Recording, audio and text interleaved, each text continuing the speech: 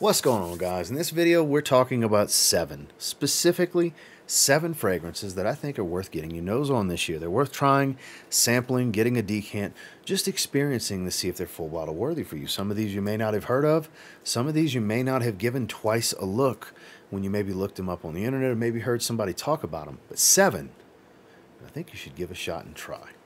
So stay tuned. Starting with the fragrance I'm actually wearing today. This is Ralph's Club Parfum, released last year. So the original Ralph's Club is very well beloved, very easygoing, easy to like, mass appealing type of fragrance. Here, it's warmer, it's spicier, it's even a little smoky on my skin with a warm wood feel. This is very nice. I believe there's some cardamom in here as the spicy note. This is really, really good. I have five sprays on currently. It's nice to just spray it in the air and enjoy it. The caveat for this one is that it's not a real strong projector. So if you're looking for an in-your-face fragrance, this isn't worth checking out. But if you're the type that likes to, you know, leave room for discovery, you don't want to overwhelm somebody when you walk by them or walk up to them or even in a workplace setting, more intimate settings, but still have this just intoxicatingly enjoyable aroma, you might want to check this one out because it does last a long time on skin. 8 to 10 hours has been my experience, more so in that 10 hour range, and it's worth sampling. Like I said, if you're looking for more of an attention grabber, maybe go with the Eau de Parfum. But this is definitely the better smelling, more refined version with some really good longevity that is worth getting your nose on. Get out to the department stores where they sell Ralph Lauren fragrances. Get this one on your skin and try it out. It's Ralph's Club Parfum. This next one is my favorite release from this house. It's a newer house, a Middle Eastern niche house uh, called Sphinx Fragrances. They have been known in the past for their beard and shaving products, for Sphinx Beard, but here we're talking about Sphinx Fragrances Black Anubis. So what's so unique and enjoyable for me about this fragrance is it's a grapefruit aromatic at the top that does stick around a long time with a dry oud wood smell, a very dry pencil shavings type of smell, some nutmeg blending with it, and a lightly soft, supple leather note that doesn't become too animalic. It's not a really powdery fragrance. It's actually quite the wearable, fresh, woody fragrance. Um, there is some density, there's a lot of staying power, there's a lot of character to this scent, but it's not a challenging wear. This one really captivated me the most of the original six releases from the house, and you can get carded samples for just a few dollars from Sphinx Fragrances website. You can get 10 ml travel sizes, which I have a 10 ml travel size right here. I encourage you to get your nose on this. A lot of people are raving about the green bottle like this with the plate called Tabaxitron Vanille, but Black Anubis is definitely my favorite of the house. It's the one that I really stand behind, is very enjoyable, super wearable, dip your toe stepping stone type of oud fragrance, not real funky or anything like that. Nothing challenging, just flat out enjoyable. Get your nose on this one this year. Sphinx Fragrances, Black Anubis. This next one is a personal favorite of mine. It's one of my favorite releases of 2022.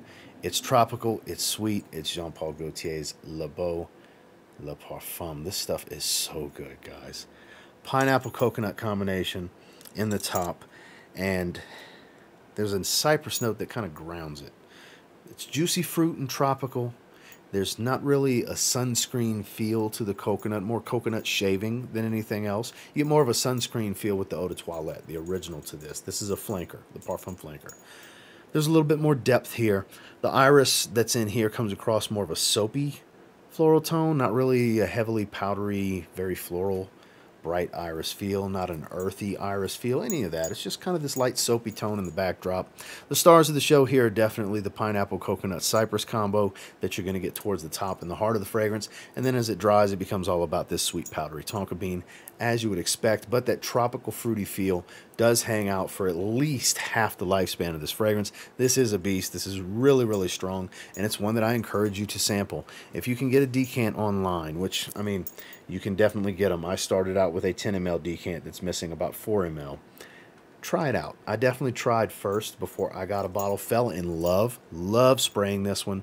And it's one that I encourage you to get your nose on, especially if you're a fan of the Eau de Toilette. This is a superior version, in my opinion. Check this one out in 2023. Just give it a sample, give it a try. Jean Paul Gaultier's Le Beau Le Parfum.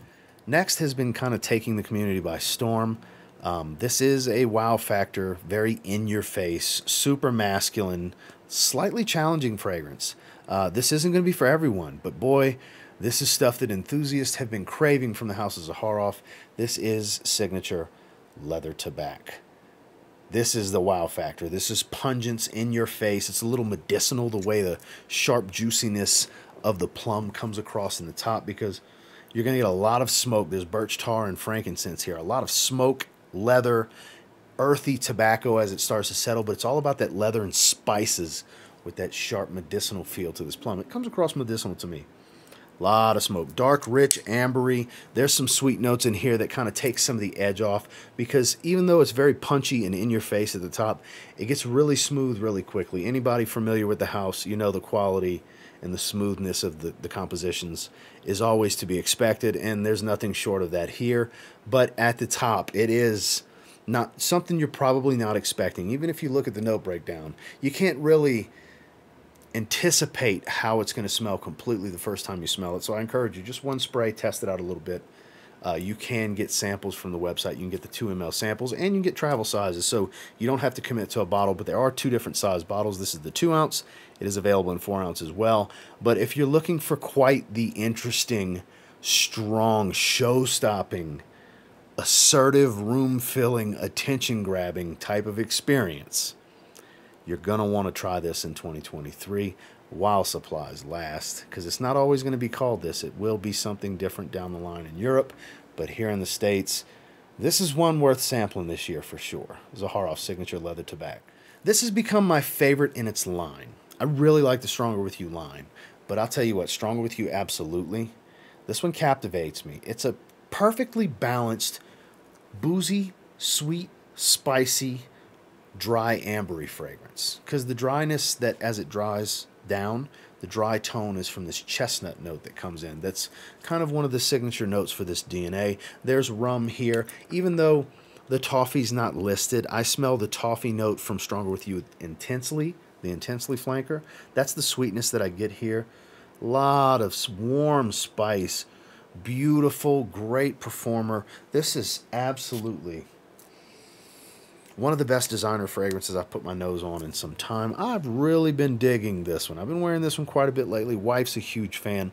This is worth trying. Anywhere they sell Armani fragrances and they have this one as a tester, you should spray your skin and spend a little time with it. Walk around, enjoy the sillage, see what your lady thinks about it.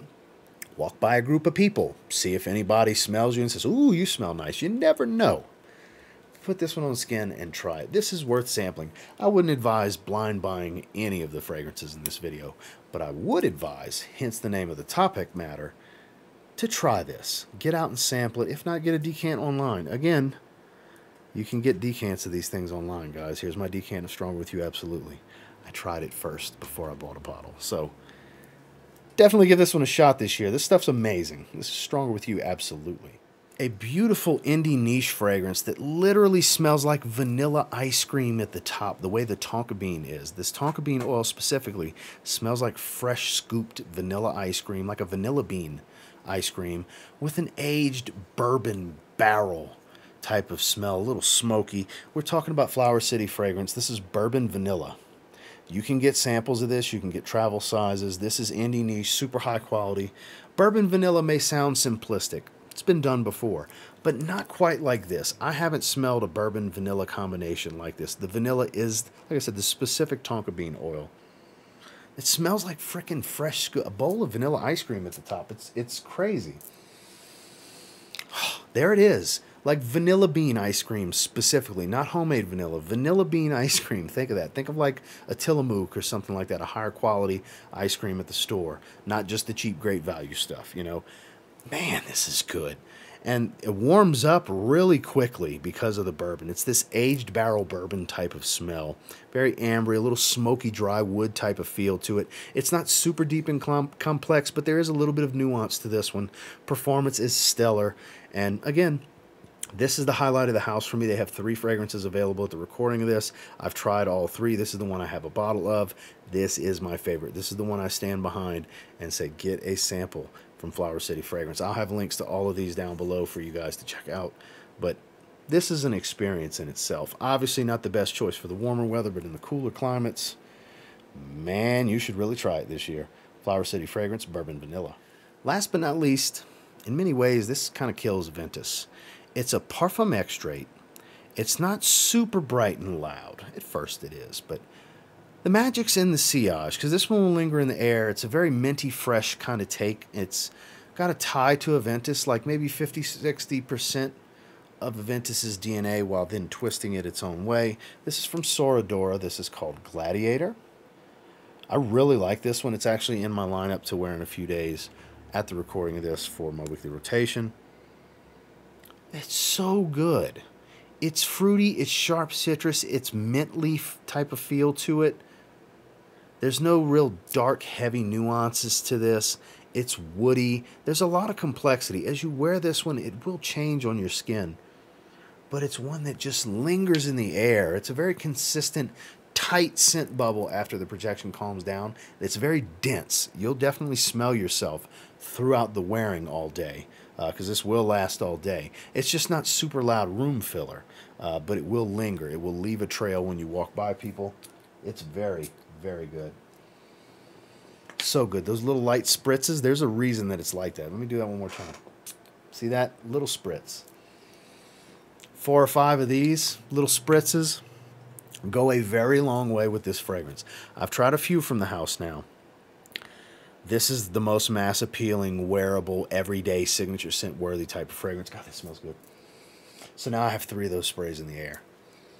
You want to talk about fantastic. If you like minty fresh, you're going to want to try this. You can get samples, you can get discovery sets. Discover the House of Sora Dora. They have some great stuff to offer. And this one might be the most easygoing of all of them. Again, that's Sora Dora Gladiator. Well, that's the seven that I have for you today. And until next time, do me a real quick favor. Go ahead and like, comment, subscribe, because I do appreciate all the feedback. Love hearing from you guys.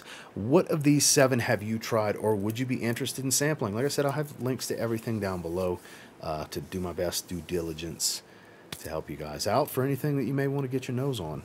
And until next time, I will say if you get your hands on any of these seven, just give them a try. You give them a spray now, you'll probably end up thanking me later. Have a good one, guys.